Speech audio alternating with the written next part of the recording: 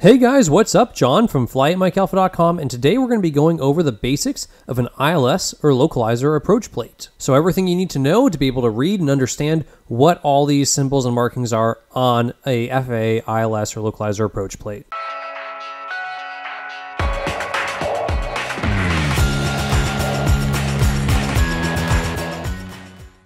So, for starters here, we're going into Sarasota, Bradenton, Florida. So that's the city and state. Then we come over here, and that's the name of the airport with the three letter identifier. So, of course, we'd add a K in front of that in our database since we are in the United States. And, of course, ILS or localizer runway 14. And we'll talk a little bit about the difference between ILS and localizer here in a moment. Of course, we have our localizer frequency of 111.3, and that's paired with a glide slope frequency that we don't have to worry about. So there's a separate frequency for the glide slope, but we don't have to worry about it. It's tied to that. Our radio and our airplane takes care of it for us if we are doing an ILS approach. Final approach course inbound is 139 degrees. Runway landing distance available is 7540, so 7,540 feet. Touchdown zone elevation 23 feet. Airport elevation 30 feet. So when we have hurricanes here in Florida, the touchdown zone goes underwater before the rest of the airport.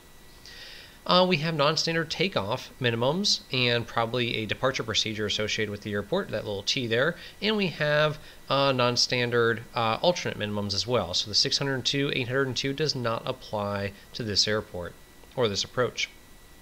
We have some notes here that we're not going to spend too much time going over, but those are good to review and they really are just what they say they are. That's why we're not going to spend too much time on them in this video. Our approach lighting system is uh, A5 and MALSR, so that's a little diagram there of what it's going to look like as we're coming into land and we're breaking out of that low overcast layer. We have missed approach instructions, climb to 1,000 feet, then climbing left turn 2,000 feet on the Sarasota VOR DME radial 181 to Murdo intersection 13.6 DME from Sarasota and then hold. And of course we have that little depiction right there. A couple different ways to identify Murdo. Um, 13.6 DME off Sarasota, or here they're identifying it uh, basically off crossing radials from PIE and Lakeland, or 40 DME off of PIE and the uh, 157 radial from PIE. A couple different ways to identify that particular fix there. Our ATIS for the airport is depicted right here, 24375. Tampa approach on 1965, and of course a military frequency that we don't deal with. Sarasota Bradenton control tower is 120.1, and then it has CTAF and the L next there. Well, and it has a little star next to tower, letting us know, okay, the tower is part-time. The 120.1 is also used as a CTAF when the tower is closed, and that little black L uh, circle there means that the CTAF frequency is also the pilot controlled lighting frequency to turn on the lights when the tower is closed. Of course, a 200 series frequency we don't use, that's military. We're 108 to 136 is our frequency bands. Ground control 121.9, and of course military stuff we don't care. Clearance delivery 118.25, and Unicom 2295. What do we use Unicom for? It is different than CTAF. Please don't get confused. It is used to call for a rental car, a taxi, uh, fuel, anything like that. Maybe you're taxing onto the ramp and you're like, hey guys, where do you want me to park? And so you could call the FBO on the Unicom frequency. Or you're 15 minutes out and you're in a rush to get to dinner, so you call for a cab. So the cab's there waiting for you. When you do land, you can hop out of the airplane and hop right in. Coming down away from our briefing strip, that's our briefing strip up there, down here to our plan view, we of course have our missed approach depiction and our um, ILS localizer uh, depiction here. And so this little fan thing here, that's basically um, our depiction of our localizer. And it has the shaded portion on the right. That means it's a front course localizer. And if you're not familiar with front course and back course localizers, we'll talk about them in a later video, but just know that when shaded on the right, that is a front course localizer. Down here we have our localizer frequency, the identifier that we would see depicted on maybe like a glass cockpit airplane if it auto-identifies for us, and the Morse code identifier that we could listen to through some of our older school uh, receivers or even the the current receivers that we have in the airplanes, uh, we could always still listen to the Morse code identifier to make sure it is in fact working and we're receiving the proper localizer. We have some other information here, and the main thing I want to point out to us is dark lines are published portions of the approach. Skinny lines are not. So this radial 181 does not have an altitude associated with it because it's not a route that you would fly. If you were flying around there, you'd want to be at the MSA or better, um, if, unless you were instructed to be lower with an MVA from approach control. If you're on this dark line inbound to intercept the localizer, that is a published portion of the approach. You, no procedure turn is needed, no PT, and that's 22 miles from St. Petersburg to get to Paso intersection, which is then another 11.8 miles on the Sarasota DME. And notice that these are SRQ DME readings, not um, the uh, localizer DME readings. So as we're reading our DME here, we see SRQ 1.3, that's 1.3 from SRQ, not from I, Fox, Fox, Victor. So very different there. Um, and notice that this particular localizer frequency doesn't actually have DME associated with it, and that is why we're using Sarasota VOR DME instead. How do we know there's DME associated with the Sarasota VOR? Well, it has a channel number. We don't set that channel number, but that indicates to us that there's DME associated with it. There's no channel number or DME associated with the localizer, so that's why we're using distances from the Sarasota VORTAC. Now we can see here our outbound course 319, inbound course 139. We have a hole depicted there over Frugal, so if we needed a course reversal, maybe if we started our approach at the Sarasota VOR and proceeded outbound on the localizer, then we would be um, doing a course reversal to come back in. Or maybe ATC just instructs us to hold there to burn up some time while they have other arrivals coming in. As we come down the localizer, we can see where our VOR is depicted. We can see our general airport layout there. And we can also see a rough um, depiction of what the missed approach might look like.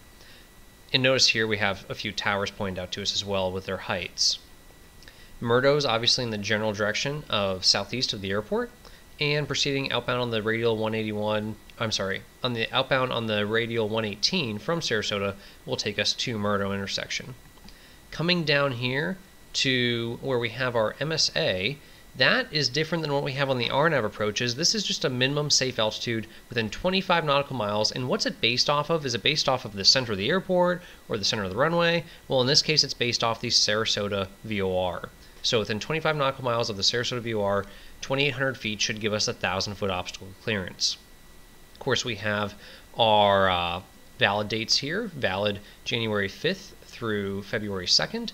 We have our airport uh, layout here, and it's showing us, so we have a displaced threshold, the approach lighting system that we have.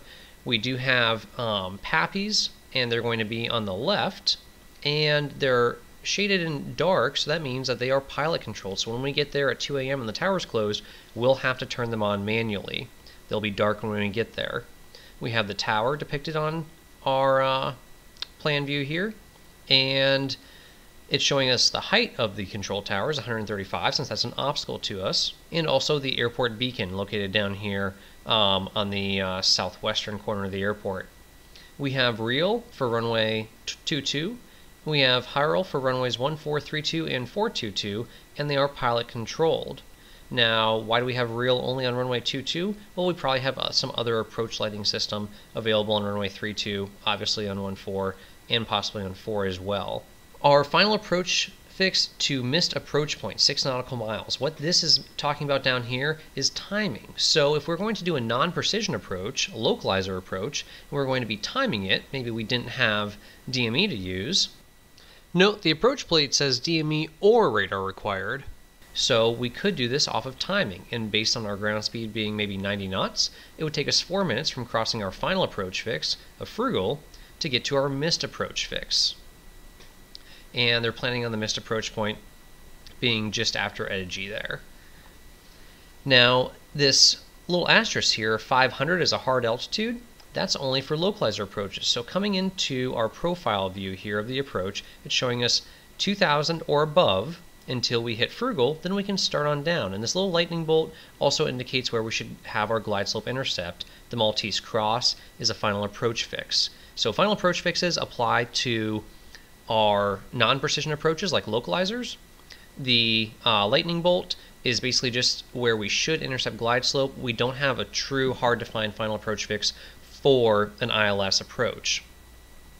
Now we're maintaining 2,000 feet. We then start on down following the glide slope or just going down to 500 feet at a reasonable rate as soon as we cross Frugal, then leveling off if we're doing a localizer approach or an ILS approach, we would continue on down to getting to our landing minima, which is down here. So coming down to our minima, we have different categories. These are based on the different approach speeds we're shooting. So are we doing 60 to 90 knots, 90 to 120 knots? What kind of range are we in here? And just because the aircraft, you may say, hey, a Skyhawk is a Category A airplane. Well, if you're doing 100 knots on final uh, with a Skyhawk, that bumps you into Category B. So you definitely want to be aware of the actual speed that you're doing with the aircraft and what category that puts you in. And those are approach speeds, not ground speed or anything like that. So just because you have a really strong headwind doesn't bump you back into a lower category. Now, for our ILS to runway 14, it doesn't matter what category we are, our minima is 223 on our altimeter or in one half mile visibility. So 223 on the altimeter, one half mile visibility. We have to have a half mile to continue, and our decision height is going to be 223. That's 200 feet above the ground, and then anything in parentheses here deals with military stuff, so we don't worry about that. Coming over here to the localizer, you can see if you don't have that glide slope uh, reception, you're doing just a localizer approach, maybe with DME or with timing, then you would be uh, coming down to 500 feet and still need that half mile, and that is 477 feet above the ground. So uh, 500 feet on the altimeter, half mile flight visibility. How do you determine that? Well, it's whatever you determine to be a half mile visibility, but don't cheat. You definitely want to make sure you have that half mile visibility looking out your windscreen. If you're doing a circling approach, then 501, they need uh, better visibility for that because they want you to be able to see the runway since they do let you go um, away from the runway. And a bonus question um, here is when would you have to execute a missed approach? If you're on a circling approach, well, it's whenever you lose sight of the runway complex or the landing environment. So uh, they want you to have higher minimums there. Now we don't see a bolded C here, so it does not indicate that this um, approach plate conforms to the new circling standards, new circling minima. Um, nothing wrong with that, but uh, just something to note that we don't have that on this particular approach. And of course, if you're in a faster aircraft, you're going to be making your turns wider, going farther from the airport when you're circling. They want you to have higher landing minima. You can see here 80 feet higher in 2 miles compared to 500 feet in 1 mile. Now, this EDIGI um, fixed minimums, what that means is if you can identify EDIGI then you can go down lower. So if you have means by which to identify EDIGI, like DME, or maybe uh, ATC can identify it for you via radar, then you can go down to 360 feet and a half mile compared to 500 feet and a half mile. So you can get down a little bit lower there as long as you can identify the EDIGI fix. And of course, circling stays mostly the same, uh, even if you do identify EDIGI. Now down at the bottom here, we just have our basic information again, Sarasota, Bradenton, Florida, and the name of the airport, its identifier, ILS or localizer runway 14, the coordinates of the airport, and the amendment number to this approach plate and when it was last amended, 15th of September 2016. So it was updated pretty recently. If you saw like 15th of September 2012, it might just cue you in your head. Maybe it's still current, but you'd want to go and double check and make sure that is still the current approach plate and the amendment numbers line up, uh, that nothing new has come out. So uh, of course, you could always check that on the side panel here too, uh, but not all these plates will have that side panel if you're using something like, say, an iPad or a Garmin Pilot or a ForeFlight. So that's all I got for you on your basic ILS or localizer approach into Sarasota. Just how to read the approach plate, how to understand what it's telling you there, all the basic symbology and the layout of the actual approach plate, where all that information is located. If you have any questions on this at all, leave them in the comments below on the video. Give us a thumbs up, like, and subscribe to our YouTube channel. Make sure you check out all our other episodes and videos. Check out our Patreon page. We greatly appreciate all the support you guys give us. And as always, if you cannot fly every day, then fly at MikeAlpha.com. Check out the online courses. This is part of our IFR course. It's an awesome course if you're working on your instrument rating or if you're just a rusty instrument pilot and you want to get uh, brought back up to speed for your IPC. Thanks so much, guys. We'll see you all next time.